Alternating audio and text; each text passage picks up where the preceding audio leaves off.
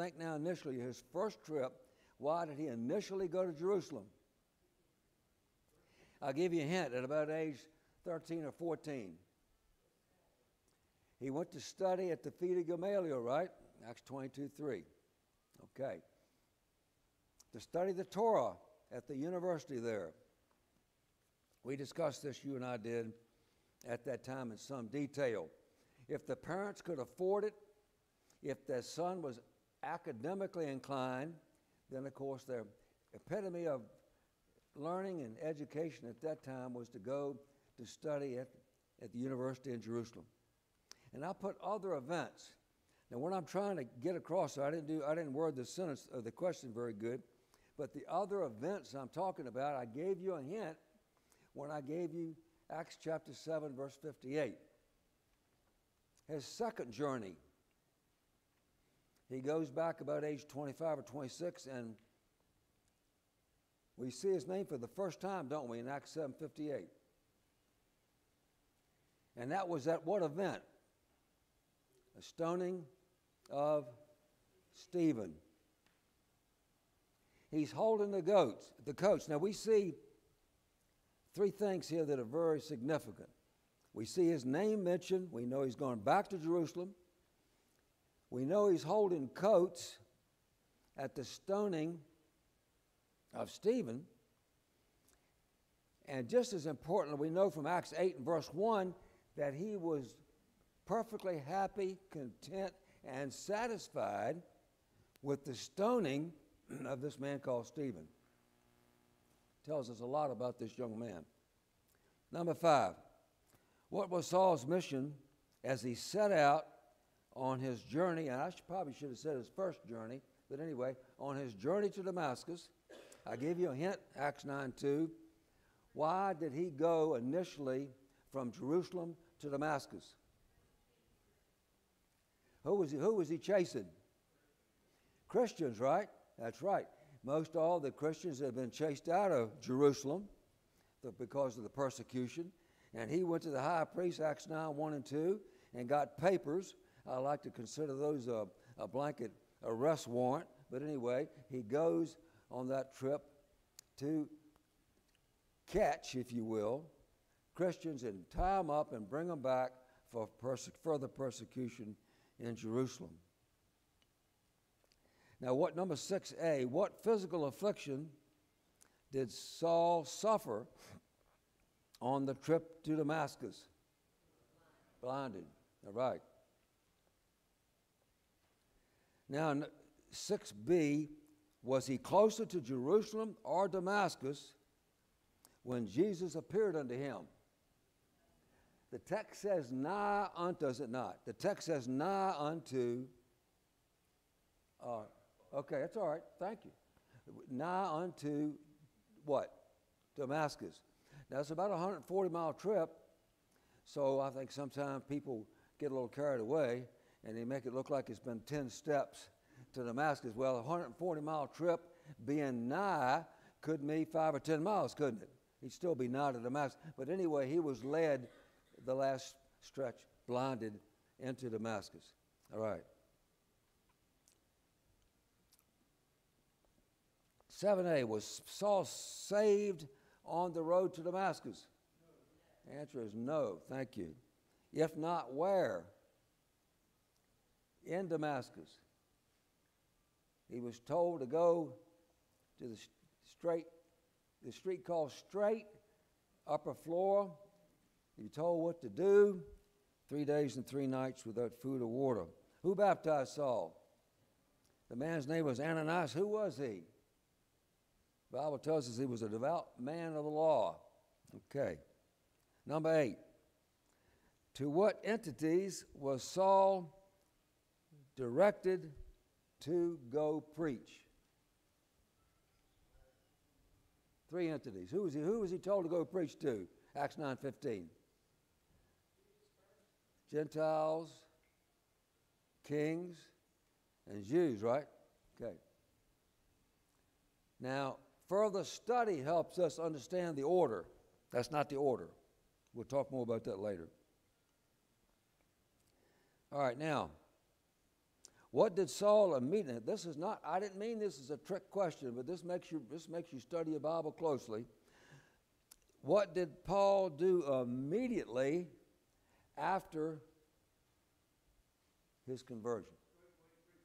Huh? The very first thing he did. I didn't hear you, Charlie. He ate.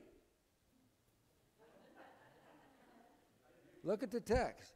He took meat. You know, it was three days and three nights without, without food or water, right? What would you do? What would be the first thing you'd do? You know, the, the Lord knows us. He made us. He knows we can go about three days without water. We can go about three minutes without oxygen. We can go about three minutes without water. We can go about three weeks without food. Well, he'd been three days without eating or drinking, so the first thing he did was eat and drink some water, I'm sure, along with that. All right.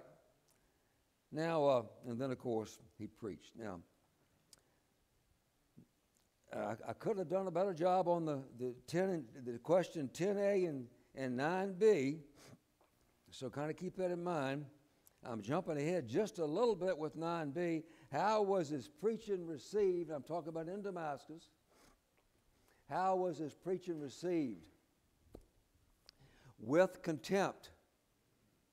That's the answer. His, his preaching was received with contempt.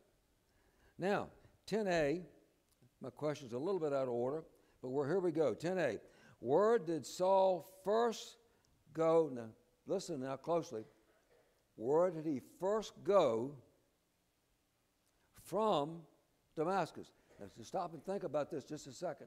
He's been baptized by Ananias. He was three days and three nights without food. He took meat, and then he tells us in Galatians 1:17, he went to Arabia for three years. Then he comes back to Damascus, which would be his second trip back to Damascus. Now, what did he probably do on that journey? What in the world could he have done for three years in the desert of Arabia? Let's stop and think a minute. What's this man been doing for the last several years? He's been persecuting Christians. He's been trying to, he's making them blaspheme. He's orphaning their children by dragging the men and women out of the house. He's doing all kinds, all manner of evil. His paradigm, his mental state is what? Hate, hate, hate. For years, he's had nothing but hate in his heart and his mind. Now he's a Christian. But what's he got to do with his mind? He got to get that straightened out. He got you talk about the word debriefing like maybe some of y'all have to debrief your children depending on what they've been taught. Yeah. Can you imagine the praying? Can you imagine the thought process that he went through for three years to try to clear his mind? You know, we talk about clearing our mind. Guy asked me the other day, How do you go about clearing your mind? I said, Well, you can't beat physical exercise. There's different things you can do to clear your mind, relieve the stress. All of you folks that are still in the workforce, you know what I'm talking about. Stress relief is required.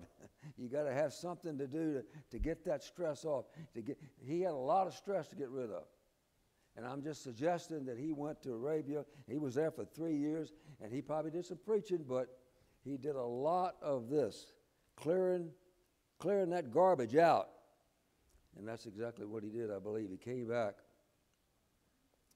Now, look at number 11, what is significant of, Acts 20? You want to look up that verse, 26, 16? Bobby, how about reading that for us? Read Acts 26, 16. Everybody, please turn there. Acts 26, 16. All right, go ahead, Bob.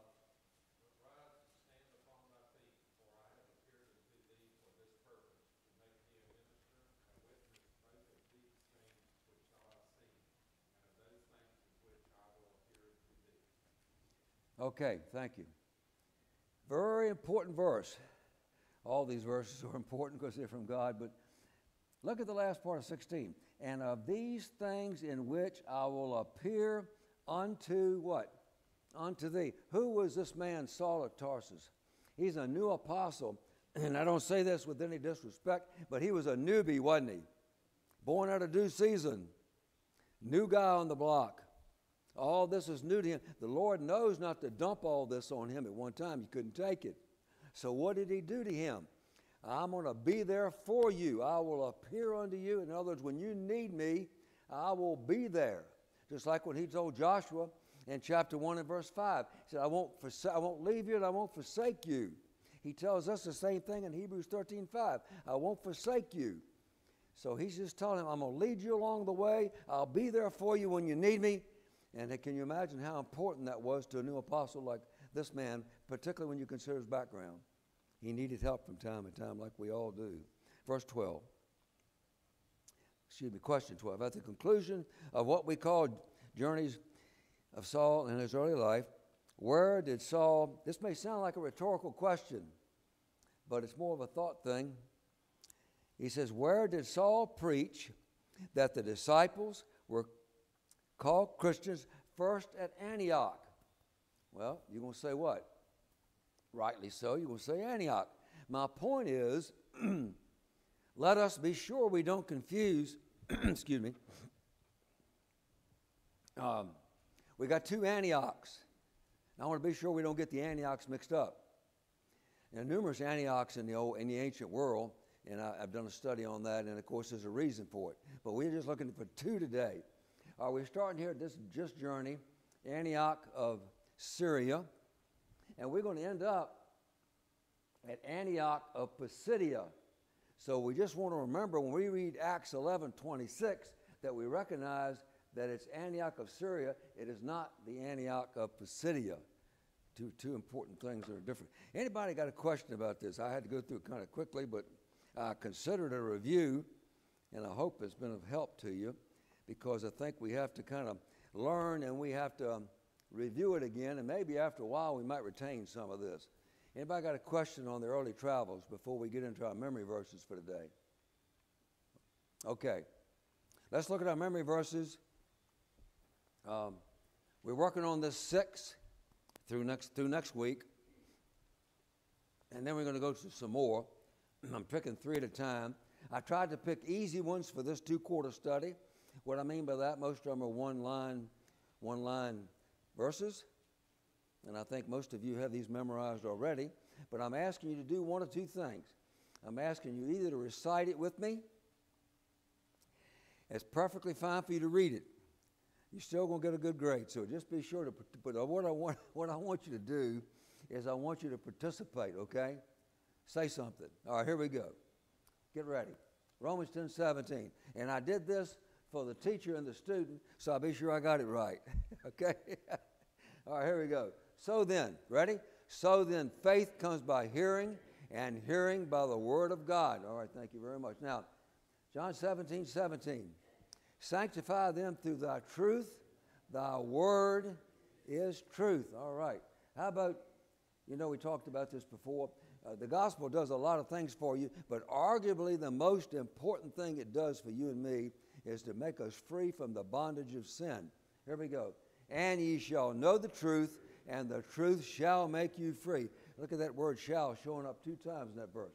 All right, we know study is equivalent to one of those dirty four letter words called work. And it does take work, doesn't it? All right, let's continue to work this morning. 2 Timothy 2.15, study to show thyself approved unto God, a workman that needeth not to be ashamed, rightly dividing the word of truth. Right. People say they love God. People all you'll ask people all over, oh, yeah, I love God, I love God. Do you really? Well, what's God say? John 14, 15. If you love me, what? Keep my commandments. All right, very good. And most of you know you switch those two numbers right there, 15 and 14. You actually get that in a different wording. If you want to be my friends, he says basically, do whatsoever I command you, right? Okay. Now, here we are, Matthew 6:33. Over there at Lake Drive years ago, Al Furlan was a two-term preacher there and people, young, from time to time, would come in and want to be married. And Al told me, he said, well, he, he talked to them a little while, tried to see if they were suitable, if they were really, if they were really mature enough to get married. But then he used this verse to give them as their guide. Matthew 6:33. Ready? But seek ye first the kingdom of God and his righteousness, and all these things shall be added unto you. And the things being referred to here, if you look at the text, it's the necessities of life, right? It's not the wants, it's the needs. Big difference. People sometimes look at that the wrong way. All right, you've been very good on participating with that, and I appreciate it. Now we'll have these these six for Lord willing next Sunday, and then we'll, when my time comes up again, we'll tackle another three. Hopefully, we'll have 12 of them memorized by the end of this study. Now, we're going to go continue with our study on the first missionary journey. Most of you remember from last week, we left Antioch and came across on the ship to Salamis. We spent a little time on the island of Cyprus. We had a conversion.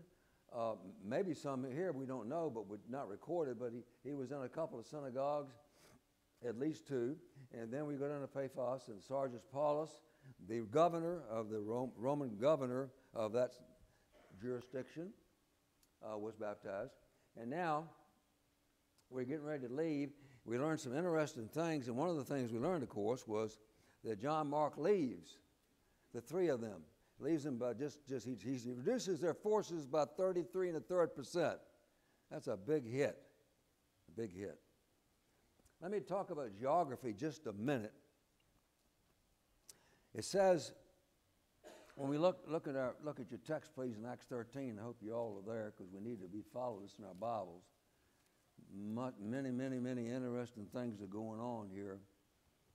And of course, one of the pivotal verses Johnny Ramsey likes to use that term pivotal, and I think it's great to talk about verse 13 of chapter 13 as a pivotal verse. Now, when Paul and his company, meaning, of course, he's gravitated to the head of the evangelistic team. Prior to this, it was always Barnabas and Saul, Barnabas and Saul, Barnabas and Saul. Now it's Paul when his name, his, his name is changed. Now, it says they loosed from Paphos and came to Perga in Pamphylia, and John departing from them returned to Jerusalem. Now, Jerusalem was his home. We learned that when we studied 1225. You know, remember the uh, Barnabas and Saul were sent, the apostle Saul were sent to Judea for drought relief. There's when they got hooked up, so to speak, with Mark. He came back with them to Antioch and, of course, leaves on their first missionary journey. But he goes home. He goes home. Now, we'll talk just a bit about, about that in a minute. But first of all, we're going to make a 140 mile nautical mile trip from Paphos to Perga. The verse, the verse says that, and, and it's kind of interesting to me. Um, these, as I mentioned, Doctor Dr. Luke, he doesn't he doesn't waste any words. He said, but they departed from Perga, and they came to Antioch of Pisidia. That's a hundred mile hike. Okay, so he just, well, or they came there. Well, we've got to talk a few minutes about this because there's important things going on. Now, first of all, I didn't mention this previously, but in the Anatolian Peninsula, there are 14 provinces. The Romans named 14 provinces in the Anatolian Peninsula. Ten of them are mentioned in your New Testament. Now, uh, I want, want, to mention one other thing that you, you might be interested in. Perga sits about seven miles inland, okay? Perga is not sitting on the, on the Mediterranean Sea. It's seven miles inland. Just like you remember, we studied Tarsus being about 12 miles inland. Perga is about seven miles inland. So that's interesting to know, I think, because um, you had to go up, up the river just a little bit to get there. Anatolian Peninsula is 156,000 square miles. Now, it's about two thirds the size of Texas. Give you a rough idea of how much uh, the big, the stomping grounds of Paul are at this time. You know, Texas is big, isn't it? Kind of reminds me of the governor's conference years ago when the governors all got to speak a few minutes, and the uh, Texas governor got up there. Boy, Texas is big. He said, I'm going to tell you, it takes three days to go across our state. We are, we are big. He went on about we are big in oil, we are big, big, big, and they are big. After a while, they spoke. Then the Alaska governor got up. He said, Well, um, this Texas governor, he's, he's my friend of mine, but he said, I want to remind him of something. If we cut, if we cut Alaska in half and make two states out of it, Texas will be the third largest state. So he got the, he got the last word in on that. But I want to read one other thing that's very interesting that I discovered in my studies. Um, you may remember a map, and I asked you to remember this about six, eight weeks ago. and uh, I can see if you did forget it, I understand that. But there was a, there's a mountain chain. You remember the Taurus Mountains? We looked at that. The Taurus Mountains run across the Pontic Mountains, run up on the Black Sea. The Taurus Mountains run on the southern area of present day Turkey. And I, and I want to read this to you because it's very interesting. Mainly because these two men, the Apostle Paul and Barnabas, have to cross these mountains. They have to go up over these mountains to get up to Pisidia. All right? By studying J.W. McGarvey's commentary, I came across some history done by Mr. Howson, H O W S O N, in his book called Life and Epistles. And this is a quote I have from his book. Speaking of Paul now and Barnabas, no population through the midst of which he ever traveled abounded more in those pearls of robbers. You remember the listing in um, 2 Corinthians 11 26 when Paul lists all the problem, you know, a day, a night in the deep, etc., etc. One of those statements, the second one he makes, is pearls of robbers. This is one of those places. Mr. Howson says this No population through the midst of which he ever traveled abounded more in those pearls of robbers of which he himself speaks than the wild and lawless clans of the Pisidian Highlanders. That's from page 162 of his book. So when they cross over here, they've got to go through a mountain pass. Most of you know about the Laramie Trail and the Oregon Trail if you study American history. And they went across the Rockies. What did they pick? They picked passes. What's that? That's a low gap in the mountains, right? To get across easier. Well, they had to go through a pass on these mountains as well. And these highwaymen, these robbers, are waiting. Uh, we don't have a record of them attacking these two men, Paul and, Paul and Barnabas, but it's been postulated, it's been questioned, it's been maybe suggested that maybe John Mark left the two of them because he feared what they were facing. And that is a possibility, just a possibility. Now, let's see what happens when he gets up to uh, this, uh, pity, uh, gets up to the next stop.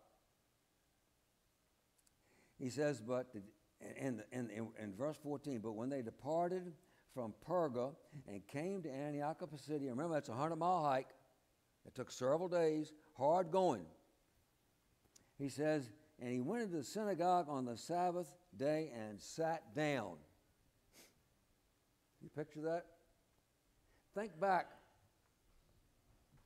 Think back a couple thousand years with me. Will you do that? Here come uh, Saturday morning we're at the synagogue, and we got Paul the apostle, and we got Barnabas, and they go into that synagogue. And can't you see the confidence? They go up to the front and they sit down. He says he sat down. Well, what gave him that right? It was a tradition in that day and time in a Hebrew synagogue that if you were a faithful Jew, you were given the opportunity to speak. What I like about it is he went down, he sat down. I've got something to say, and I'm going to wait my turn. And he gets that turn. Let's look at the, let's look at the scriptures and see what they say here. Verse 15. And after the reading of the law of the prophets, the rulers of the synagogue sent unto him, saying, Ye men and brethren, if you have any word of exhortation for the people, say on. In other words, okay, you have, uh, you, they had an agenda. They had a program like we do here at our worship. They had things they did, had speakers. But when they were all done, then if you had something to say, you were given the opportunity. And that's what, what we're seeing here at the end of verse 15. Say on. It's your turn. You get to speak. The floor is yours. Paul stood up in verse 16 and beckoning with his hand said, Men of Israel, and ye that fear God, give audience. He's beckoning with, with his hands. Okay, now, you know, maybe they're getting a little weary, maybe getting a little sleepy. They've been through the program and then maybe they're kind of ready to go. He said, Now, wait a minute, listen up. Listen up. Give audience. Pay attention to me. Give audience. And he, continue, he starts off with a, a history lesson. Acts 17, excuse me, chapter 13, verse 17 through 13, verse 40 is a history lesson. It kind of puts me to mind a little bit of Stephen and Acts, in Acts 7 over there in Jerusalem. It cost him his life, but it reminds me a little bit of his history lesson that he gave the Jews. And he ends this in verse, uh, when, he, when he says, verse 40, Beware therefore lest that come upon you which is spoken of in the prophet. You beware, because what the prophets were talking about may be very well intended for you. And then he says, what in verse 41? Behold, ye despisers. Got that? Is he very, uh, is he very, is he pretty straightforward? Is he, is he uh, very friendly? Yeah, he's just telling the truth, isn't he? you despisers, and wander and perish. For I work in your days a work which ye shall in no wise believe, though a man declare it unto you. You're not going to believe this. He, he, he's saying, You're despisers of the truth. You're not going to believe it. Now, in verse 42, when the Jews was a remarkable, remarkable thing about the truth here now. In verse 42, and when the Jews were going to the synagogue, the Gentiles besought that these words might be preached to them when? Can you come back next week? He could twisting his arm a little bit. Can you come back next? Please come back next week. We want to hear more of this. You know what the truth does to good and honest hearts? I want, I want more. We, we want more. And you might ask, Wayne, why? What do Gentiles doing in the synagogue? Yeah, the next verse tells us. 43. Now, when the synagogue, when the congregation was broken up, many of the Jews and religious proselytes Okay, Jews, Gentiles weren't forbidden from coming into the synagogue, but they, they went in, and when they heard the truth, it says, followed Paul and Barnabas, verse 43, who speaking to them persuaded them to continue in the grace of God. Next 44, and the next and the next Sabbath day came almost the whole city gathered to hear the word of God. Now let me ask you this question. What do you think this week? We got a week here, right? They went one Sabbath. They said, the Gentiles said, please come back the next Sabbath. And then when they did come back, almost the whole city was there. How do you think that happened? What do you think that the Apostle Paul and Barnabas were doing all week? Evangelizing, right? Keep in mind, they've got years of evangelistic experience under their belt. Barnabas did it by himself. Paul likely was doing it in Cilicia establishing churches. They get together, Acts 11 25 and 26. They work for over a year there. So these guys are experienced evangelists. They worked that week. in Invest- How would you get the whole city to come there? Now, look. Oh, man, the Jews were happy about this. This is great. We've never been able to have success like that. Is that what, was that their feeling? Look at verse 45. But the Jews saw the multitudes. They were filled with what? filled with envy and spake against those things which were spoken by Paul, contradicting and what? Blaspheming. I call this plan A. We've got a plan A and a plan B. We may not get to B the next week, but they, what, bad mouthed him, blas, blas, blaspheme is to speak evil of. They talk evil of them and just said some horrible things about them. And it intimidated Paul and Barnabas to the point that they ran out of town and hid in a cave. Is that what the next verse says? What's it say? They wax what? They waxed bold. They dug their heels in, said, All right, bring it on. We're going to preach, we're going to preach the truth. No matter what happens to us, we're going to preach God's word, and that's exactly what we're going to do. Very important, a pivotal verse, very pivotal verse for 46. When then Paul and Barnabas waxed bold and said it was necessary that the word of God should what? Let me hear it nice and loud. Should what? Should what? I can't hear you yet. Should what? First, right? First. All right.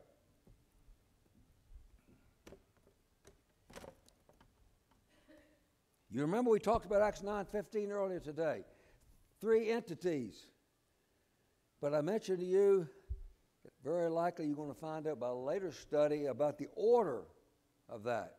Now, what I mean by that, of course, is Acts 9:15 talks about the three entities, but we don't find out about the order. We've got to study all the way through chapter 13, verse 46, to find out the order.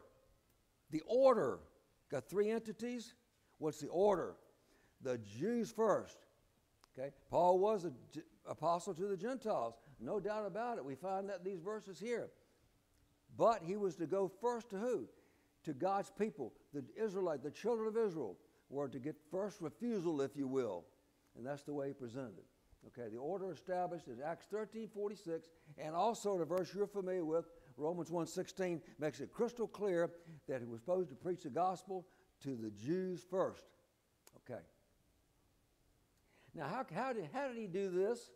How was he able to do this? We saw a little evidence in the beginning of this verse when they dug their heels in. But first of all, I talk about the three C's. Really got four of them. We got his commission, and then we got three C's it took for him to carry out that commission. What did it take to carry out the same thing it takes for you and I to live, successfully live a Christian life today? These three C's. We got, we got to have these three C's, just like he had. First one he had was, of course, his conviction. He was convicted. We obey the gospel. We've been pricked in our heart, right? We were convicted. We got but, it, but it's a one thing to be convicted, to get wet today, but how about to carry that banner the rest of your life? You got to have some commitment, don't you? That's exactly right. You got to be committed. All right, you and I got to have that same commitment. Now, brother um, Glenn Colley says one of the greatest one of the greatest attributes or benefits of having a strong faith is it gives you courage. You always remember that. A strong faith will give you courage. And that's exactly what we see here. Now, when he went up in that synagogue and got up in that seat and sat down, did he have some courage? And when they waxed bold, did he have some courage?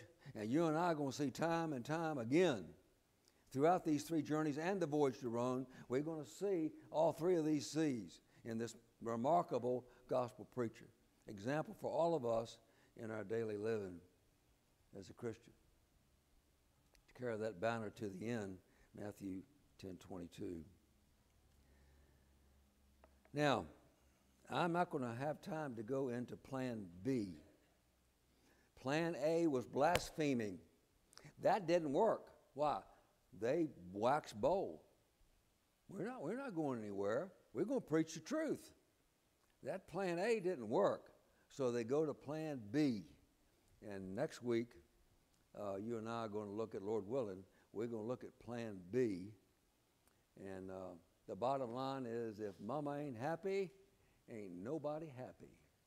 Remember that when you read the rest of this chapter. Anybody got a question now? We got about a minute. No questions. You got it all. You okay? You telling me I did my job? I don't know about that. Sister, yes.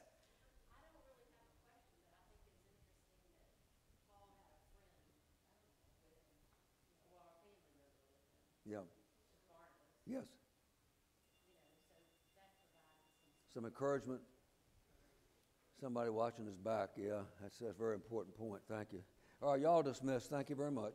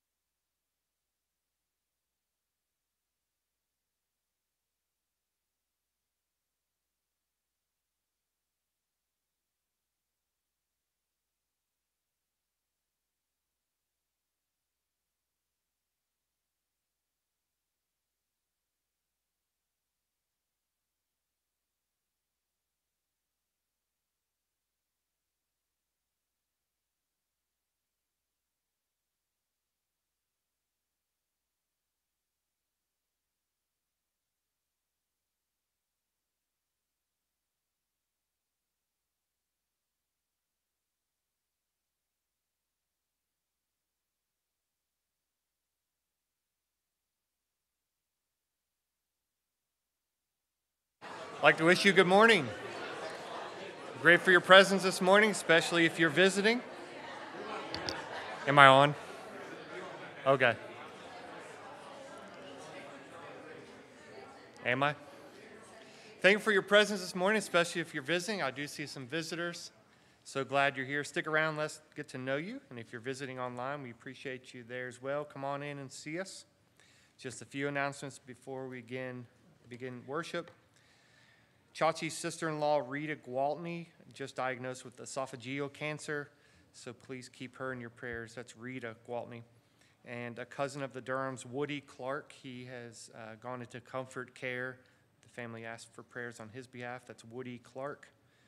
Angelo, uh, his dad, uh, John Duran, he's in the ICU currently um, with, with health issues, and uh, they request prayers, and the Garveys will be traveling up here soon to see him. Uh, keep all them in your prayers. Uh, Peyton, he's leaving for Europe on Tuesday to begin his study abroad. And Emily, she was just, she's desperate for prayers on her baby boy's behalf. So please uh, keep him in mind as well. And lastly, this card from the Pettits. Hey guys, can't thank you all enough. We appreciate all of your hard work. You made our move much easier by doing all of the loading in such a short period of time. We got here right on schedule and it took two guys three and a half hours to unload. We are still unpacking the boxes. We will miss you all. Stay faithful. As we enter worship, let's go to God in prayer. Our God, we're so grateful for the opportunity to do just that, to be faithful to you, to serve you, to obey the commands that you've given us. Thank you for the things you've given us to make worship a little easier but we know that's a, a, difficult thing to keep our minds on, on track and on task. And please help us to do that this time. Through Jesus' name, amen.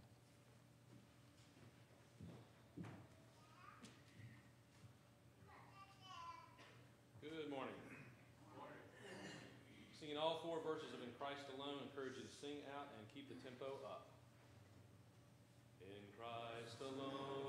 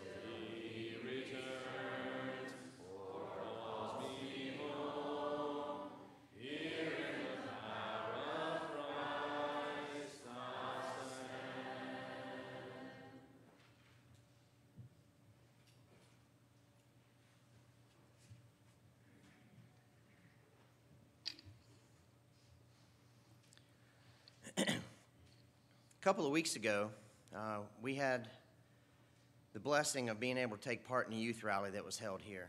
And the activity that we were asked to help with was called Load the Truck.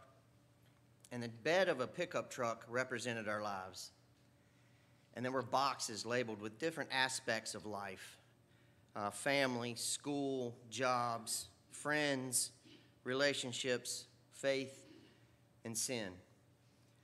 During that activity, the, the kids were asked to, to load the truck with those different boxes, and we talked about priorities.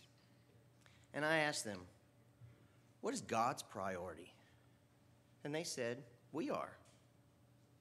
And I asked them, How do you know? And they said, Because He died for us. And I mentioned back a couple weeks ago how Rick McCurdy spoke on a Wednesday night to us, and he said, You know, as atheists stand and look at the night sky at all the, and stare at all the stars, how they say how insignificant I am, right?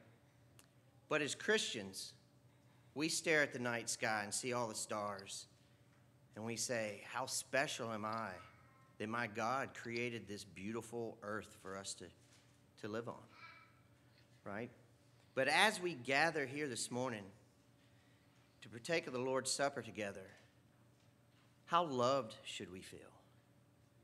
John 3:16 tells us, "For God so loved the world that he gave his only begotten son, that whosoever believes in him should not perish, but have everlasting life."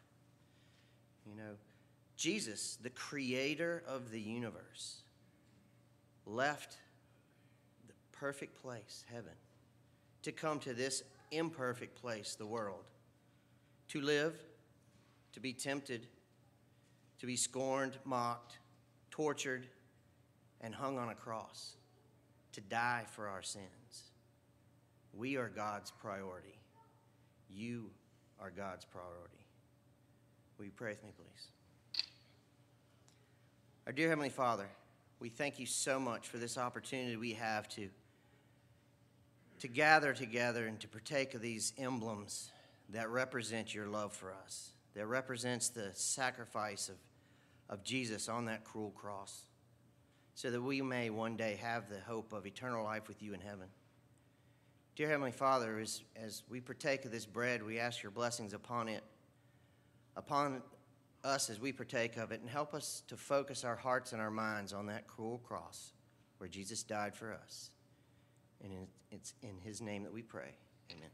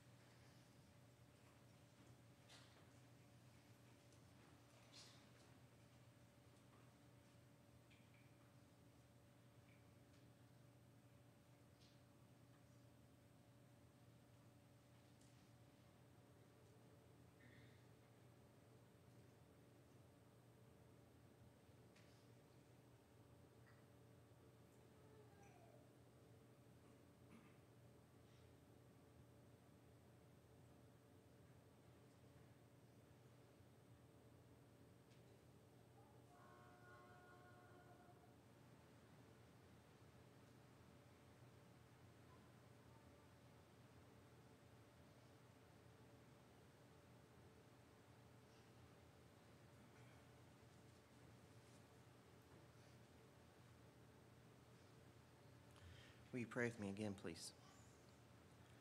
Again, dear Heavenly Father, we thank you so much for this opportunity that we have to, to gather together to remember the death of your Son on that cruel cross, the shedding of his blood that is represented by this cup. Dear Heavenly Father, as we partake of this cup, we ask your blessings upon it and upon us as we partake of it. Help us again to to remember your love and the sacrifice of Christ that gives us the hope of eternal life with you in heaven. And it's in his name that we pray. Amen.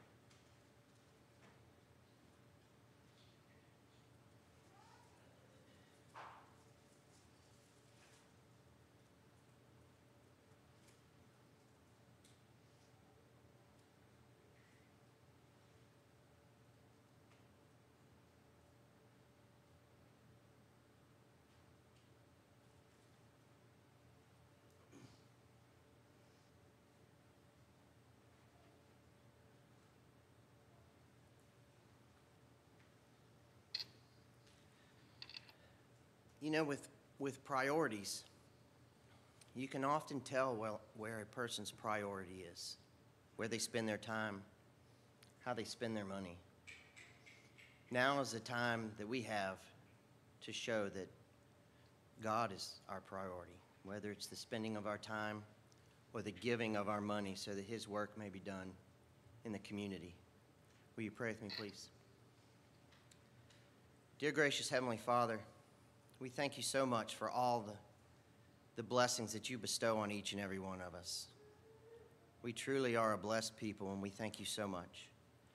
At this time, as we return a portion of those gifts back to you, we ask your blessings on those gifts, that they will be used in a, a, the proper manner to spread your word throughout this community so that others may learn and know you and the love that you have for them. Again, we, we thank you so much for all that you give us. It's in Christ's name that we pray. Amen.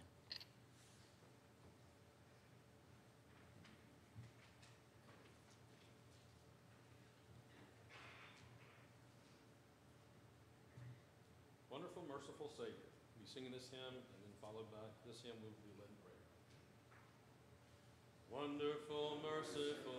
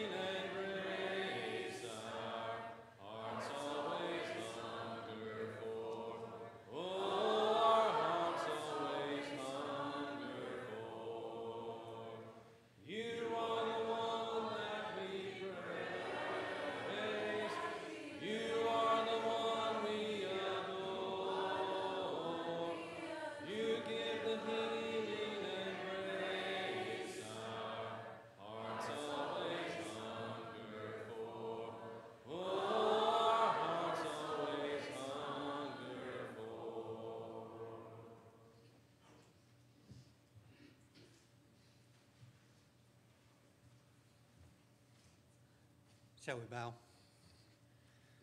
Heavenly Father, we thank Thee so much for allowing us to be here this morning. Thank you for allowing us to hear these songs that are so uplifting, and we thank Thee for the song leader and his abilities. We pray that You'll continue to bless him as he continues to lead us in this service. We thank Thee for Brother Jerry and the lesson he has prepared for us. We pray that each one of us will open our minds and hearts and allow these things to come within our lives so that we can be pleasing to you, to allow the, us to be the examples we need to be in today's world. There's so many things going on around us that we need to be aware of. We know that our brothers and sisters in Ukraine are just going through so much and so many trials and tribulations in the whole country. We pray that if it be your will that you will allow this conflict to come to an end and peace can be restored. Be with all the ones that have experienced the loss of lives and loss of property in Kentucky and all the things that they've been going through. We pray that you'll help them and help those that want to administer to them to be able to get to the, all the aid that they do need. Pray that you continue to be with our elders here this morning and, and always as they always hold us dear and close to their hearts and always strive to keep us on the path that we need to be to be a child of thee and allow us to grow in a spirit and knowledge of thy word. We thank thee so much for the teachers we have that give of their time and their means to present lessons and study thy word and then proclaim it to us so that we can grow in our knowledge.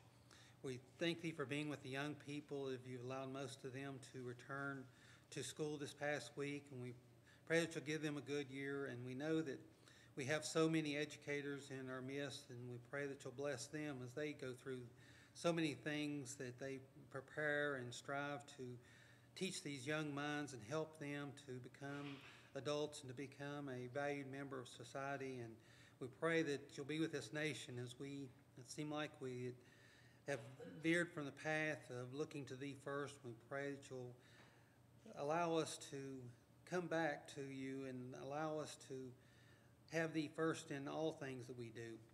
Pray now that as we have this hour that we can be uplifted by one another as we have this fellowship with one another, that it just strengthens us and helps us. We know that we have many sick that are not able to be with us, but they want to be with us so badly. We pray that you will grant them a measure of health so that they can. We pray now that we do all these things in Jesus' name. Amen.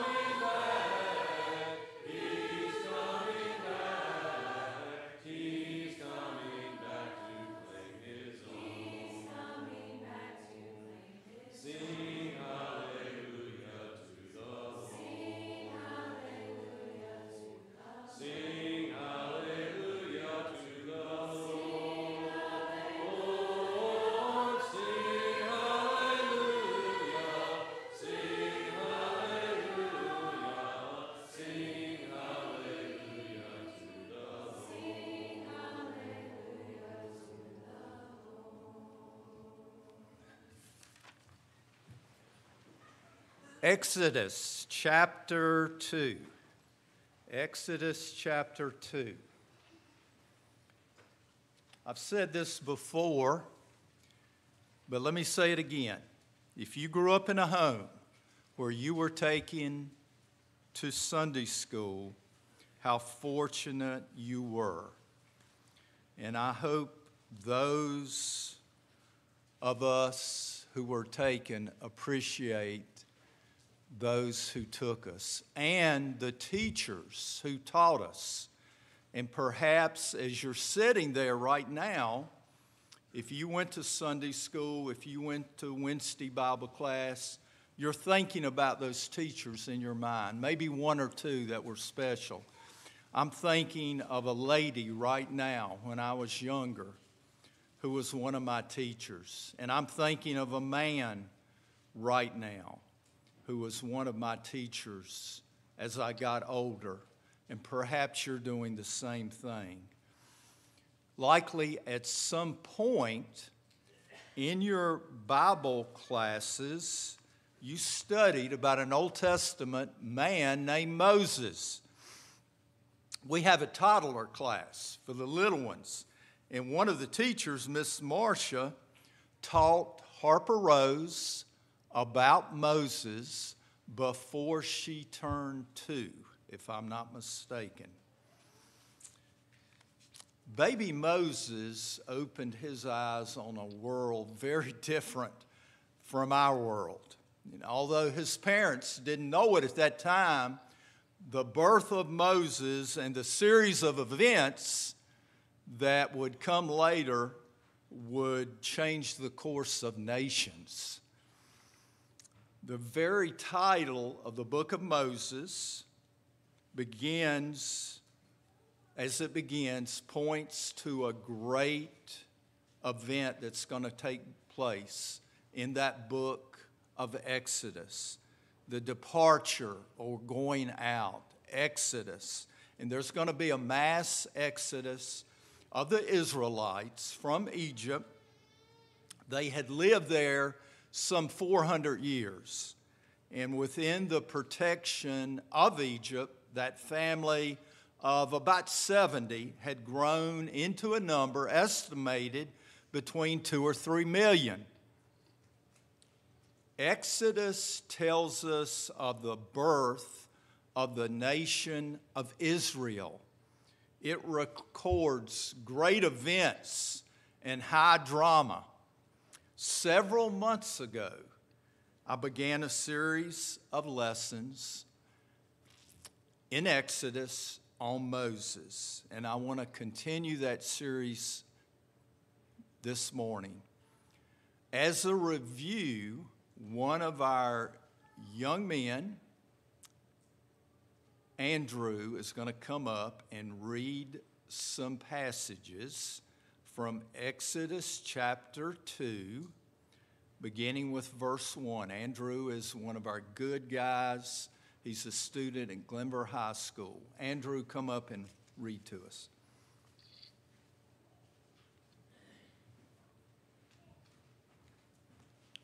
Now, a man from the house of Levi went and took his wife, a Levite woman. The woman conceived and bore a son. And when he saw that he was a fine child, she hid him, in th- uh, hid him three months. When she could hide him no longer, she took and dabbled it with bitumen and pitch, pitch. She put the child in it and placed it among the reeds by the riverbank, and his sister stood at a distance to know what would be done with him. Now the daughter of the Pharaoh came down to bathe at the river, while her young woman walked, walked beside the river. She saw the basket among the reeds and sent her servant, her servant woman, and she took it. When she opened it, she saw the child, and behold, the baby was crying. She took pity on him and said, This is one of the Hebrews' children. Then his sister said to the Pharaoh's daughter, Shall I go and call you a nurse from the Hebrew woman to nurse the child for you? And the Pharaoh's daughter said to her, Go. So the girl went and called the child's mother, and the Pharaoh's daughter said to her, Take this child away and nurse him for me, and I will give you your wages. So the woman took the child and nursed him. When the child grew older, she brought him to the Pharaoh's daughter, and he became her son. She named him Moses because, she said, I drew him out of the water. Thank you, Andrew. Chapter 10 draws the curtain on Moses as Pharaoh's son. And then chapter 11 opens the curtain back up on Moses as an adult. And that's where we'll pick up today. I want to welcome everyone. We are glad to have you. If you're here as a visitor, and I see some visitors, thank you for coming. It's an encouragement to us when you're here. If you're online and a visitor, great to have you. Now, I'm pleased to let you know that in just a few minutes, we're going to sing a song. And for our purposes, we'll call it a song of invitation. And that invitation is for you to become a Christian. Wayne and Tom are teaching a class on Sunday morning on the book of Acts. Sometimes we refer to the book of Acts as the book of conversions. Acts has many examples of people being converted to Christ. Now, definition of conversion a change in, what, in which one adopts a new religion or faith or belief. Synonyms for conversion would be transformation, changes, alterations. Sometimes we speak of conversion in a common way, like converting uh, cotton to cloth, converting water to ice. In all of these processes, a change takes place. Repent, therefore, and be converted. What will happen, Peter? That your sins may be blotted out. Acts 3, verse number 19. Conversion in the Bible means to change by turning to God. There must be a change of heart produced by faith. Peter, speaking of the Gentiles, said, and made no distinction between us and them, purifying their hearts, watch it, by faith. Acts 15 9. There must be a change of life produced by repentance. For godly sorrow produces repentance, leading to salvation. 2 Corinthians 7, verse number 10. There must be a change of state produced by baptism. For as many of you as have been baptized into Christ have put on Christ, Galatians 3:27. And when you do that, you get newness of life. Romans 6 4. We're going to sing a song in a short time, I won't be long, to encourage you to be converted, to encourage you to examine your spiritual needs so that we might assist you in any way. Don't be like Felix, who spoke of a convenient season, Acts 24. Don't be like Agrippa. Almost you persuade me. Acts 26. Be like the eunuch of Acts 8. What hinders me from being baptized? All right, one thing before we start in verse 11 of Exodus 2. A number of us that are sitting in here today got to do something that we love that we had not done in three years attend Virginia Christian Camp. This week, Mrs. Anderson and I will get to do something we love that we have not done in three years. We will get to attend Polishing the Pulpit in Sevierville, Tennessee. Now, before we get to Sevierville, we plan on taking a short trip to Bryson City, North Carolina, That's near Cherokee, if you've ever been there, there right at the Smokies.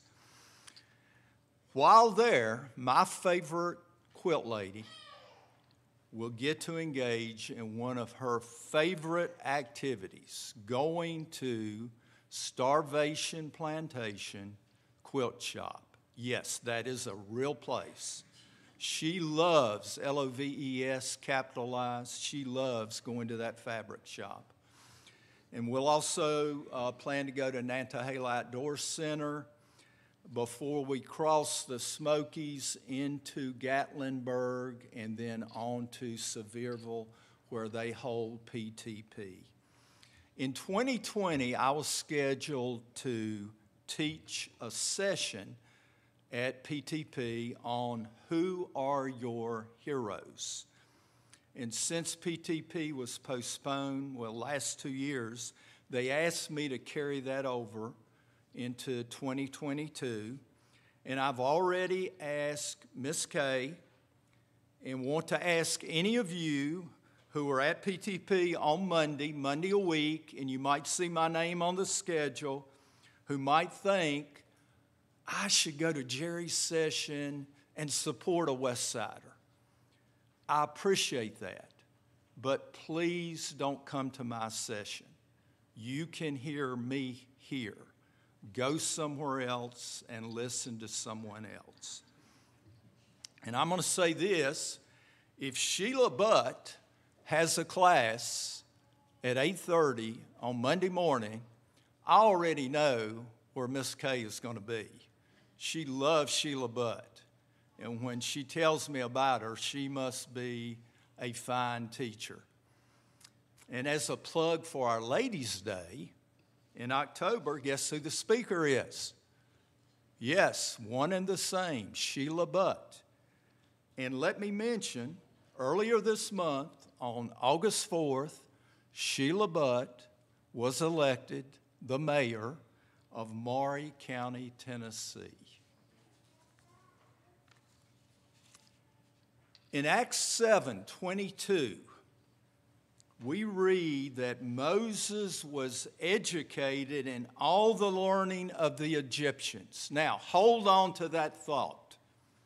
Educated by the Egyptians, all the learning. It also says he was a man of power in words and deeds. Now, I read where a boy reared in Egypt like Moses was would attend the temple of the sun. And from history and archaeologists, we learn that would have been a premier educational center. The Temple of the Sun has been called the Oxford of the ancient world.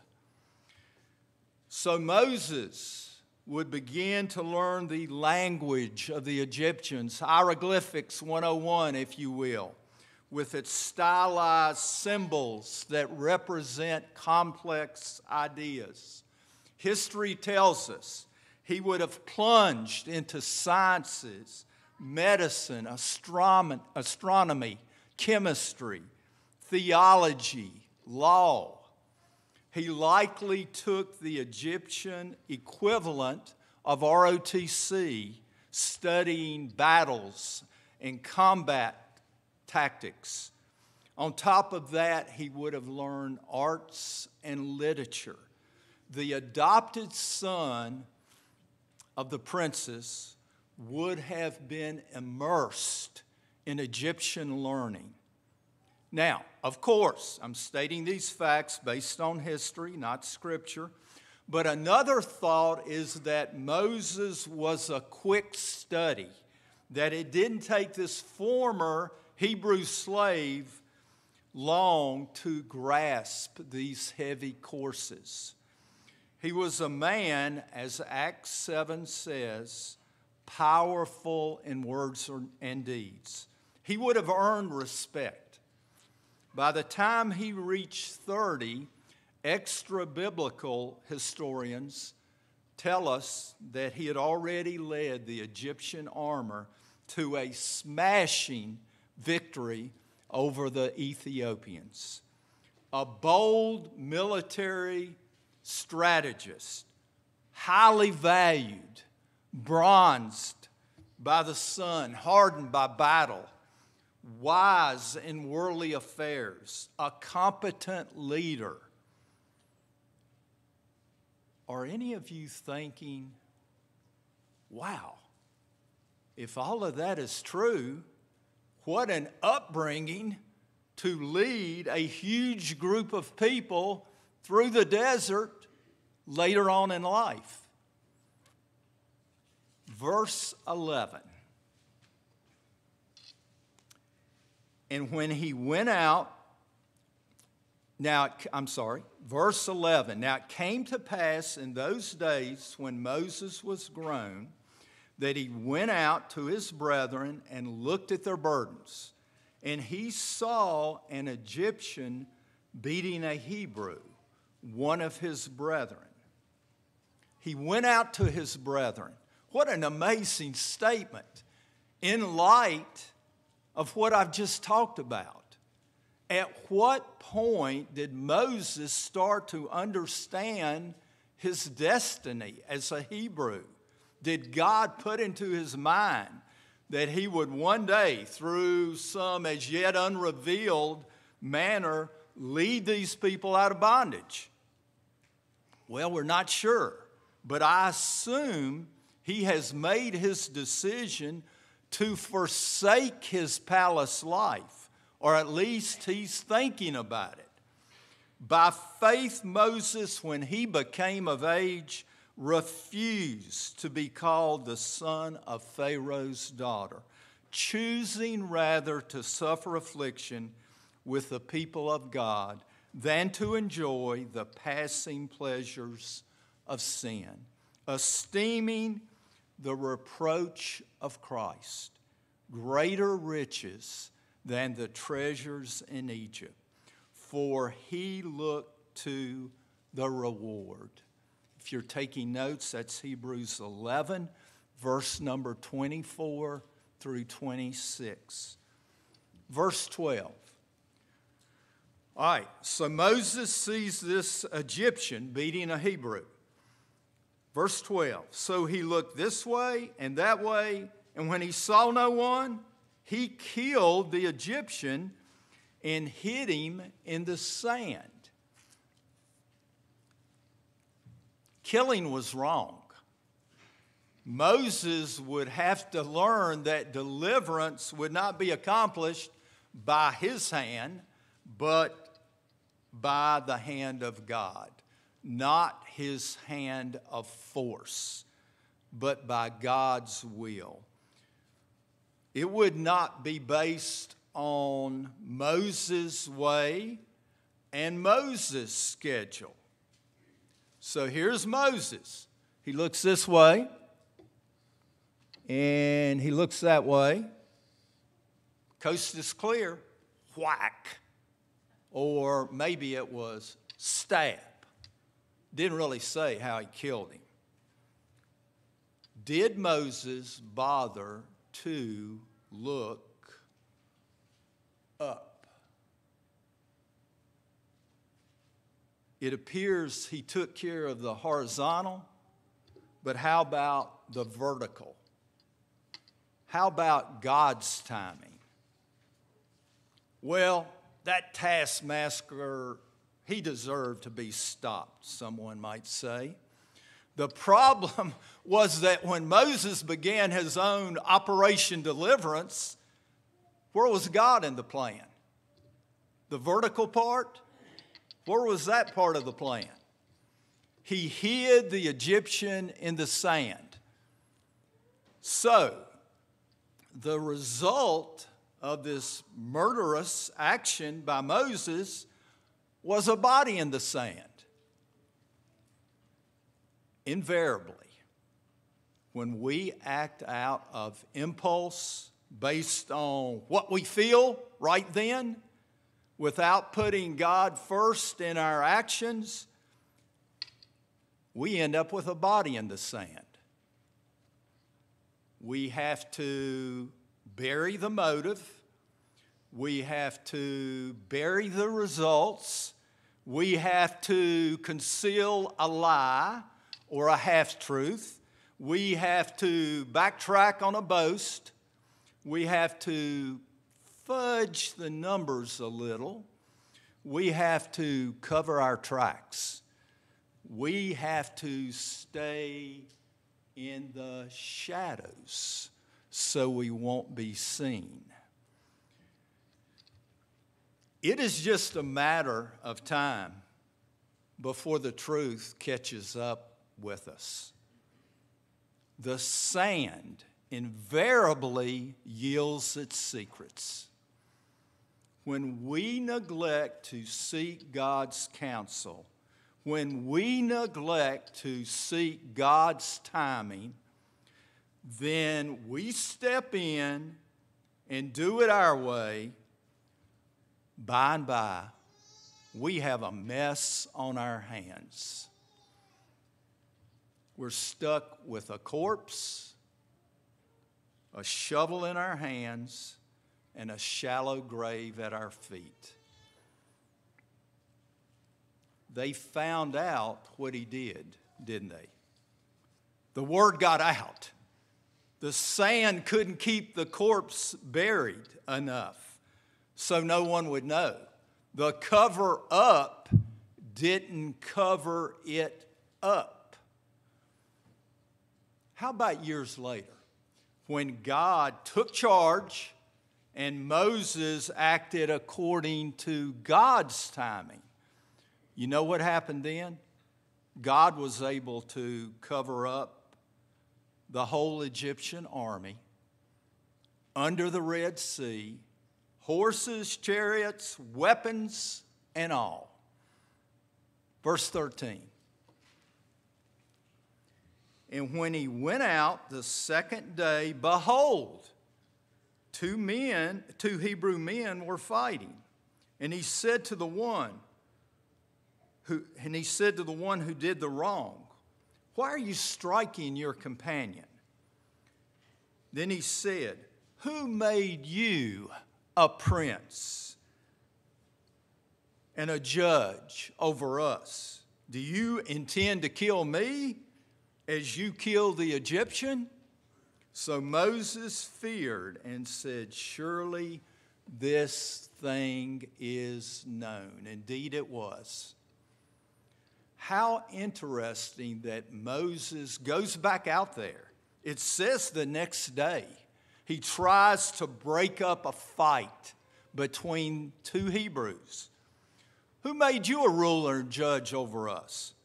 Hey, fancy palace boy, just back off. You're not our leader. What a crushing put down for someone who had put it on the line, they were not ready for Moses.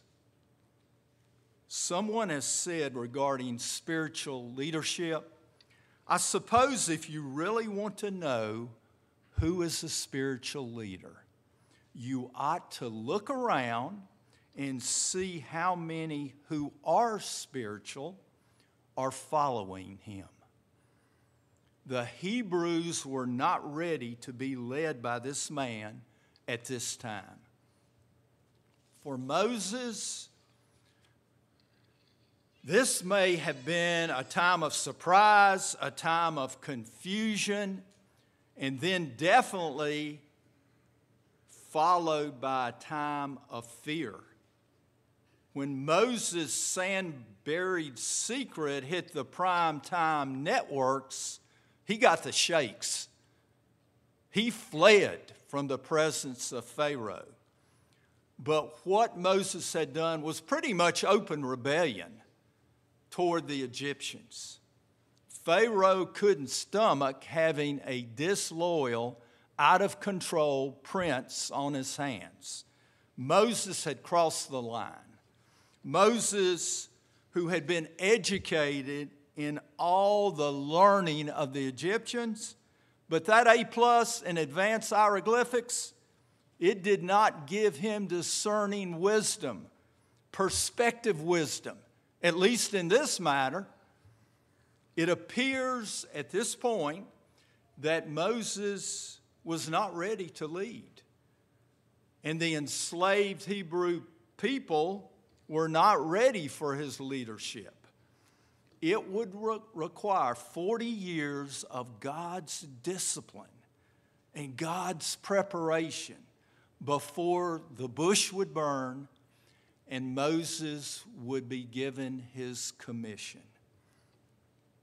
Verse 15 When Pharaoh heard of this matter, he sought to kill Moses. But Moses fled from the face of Pharaoh and dwelt in the land of Midian. And he sat down by a well. This land of Midian, uh, the area was located in the southeast portion of the Arab- Arabian Peninsula, according to Coffman's commentary. Various classical historical sources place Midian in what is now the northwest part of the kingdom of Saudi Arabia. Now, as a point of interest here, these people of Midian apparently were some kin to the Hebrews through Abraham's later wife. You know, after Sarah had died and he remarried, you remember that wife's name? Starts with a K. Keturah.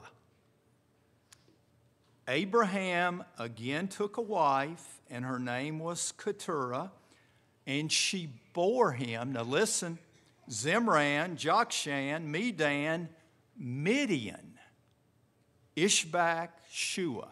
I'm assuming that son Midian is the Midian of the Midianites later on. Midian has been described by one writer as incredibly barren, hot, arid sand and gravel, punctuated by craggy chunks of rock with an occasional scraggly bush somehow clinging to life. If that is the case, can we imagine Moses stumbling through this wasteland as he flees Egypt? Did he have time to take off his tailored uh, prince clothes? Moses was not strutting down the road singing a happy tune. He was a frightened, disillusioned fugitive running for his life. His vaunted uh, palace education meant little to him now. Do you wonder if Moses thought, as he's walking along, I mean, he doesn't even know what he's going to do. He's just escaping at this point. Do you wonder if he thought, life is over? I messed up. God can never use me. I'm finished. Moses was in no way finished. We know that because we can read the rest of the story. But it would be many weary years before he fully realized that. He didn't know the rest of the story. For here's the thing as we think about Moses, how about us? Have we ever felt? I've tried so hard. I've tried so many things. I've pushed myself so relentlessly. Nothing has worked. Folks, don't ever think that means you are finished. With God there, you are in no way finished. Notice what Moses did at the end of verse 15. He sat down by a well.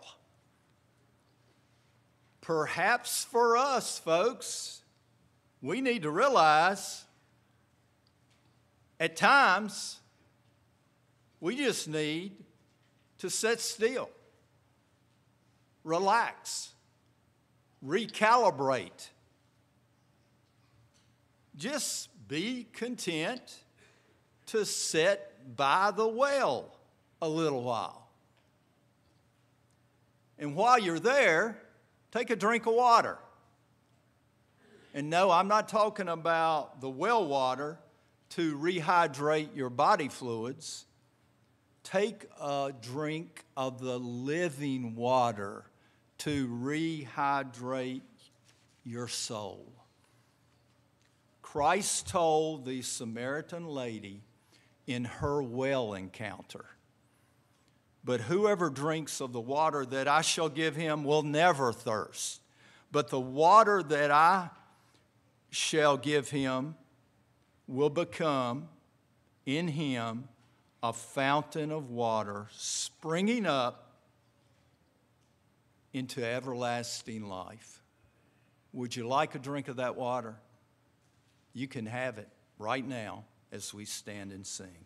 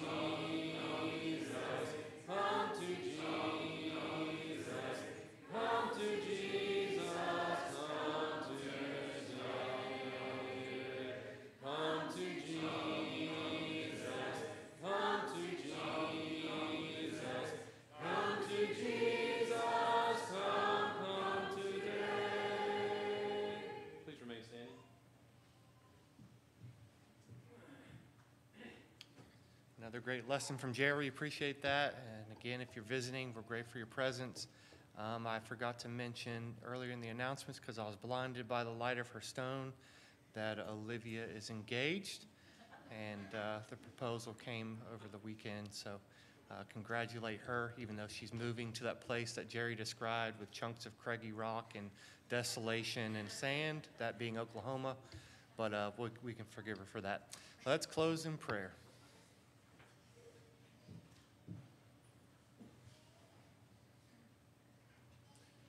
Let us all bow.